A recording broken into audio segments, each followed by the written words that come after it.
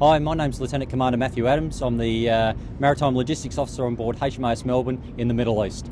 I'd like to wish my gorgeous wife and my two beautiful boys a very Merry Christmas and a Happy New Year. I'm missing you heaps. Hope to see you soon.